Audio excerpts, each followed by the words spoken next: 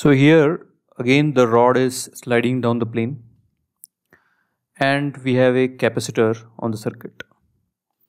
So we are asked what is the acceleration of the connector. So this is the equivalent circuit. So because the rod is moving down with velocity v, the EMF, motional EMF is BVL. So now on this capacitor and the battery, we can write the KVL equation BVL minus Q by C is equal to 0. So we differentiate this so that we get the value of current.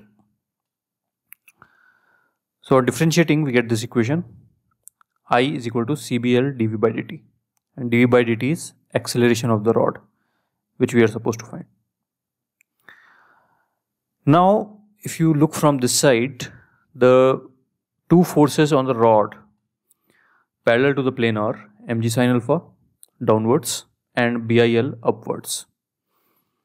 So net acceleration downwards will be mg sine alpha minus BIL which is equal to ma. So here we put the value of i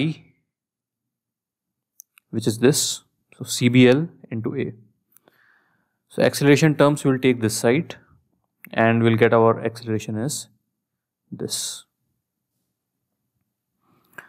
So you can see the acceleration is uniform.